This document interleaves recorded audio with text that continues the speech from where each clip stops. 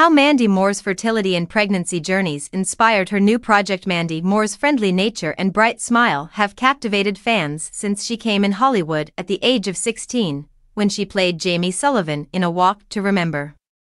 Despite taking on more sophisticated roles, such as Rebecca Pearson in This Is Us, the singer turned actress has kept her down to earth it factor.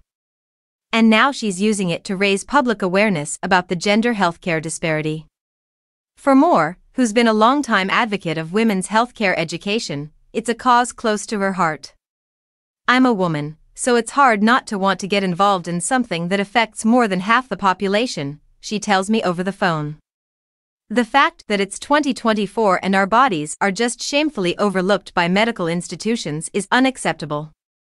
Now pregnant with her third child with husband Taylor Goldsmith, Moore, who's previously opened up about about her fertility journey and being diagnosed with a rare blood disorder when she was expecting her first baby, is teaming up with Parallel Health, a vitamin company and advocacy group, to put out a call to action, increase the amount of funding allocated for women's health research. 4. A very depressing reference the National Institute of Health spends just 11% of its annual budget on research for women's health, a statistic that Moore calls staggering.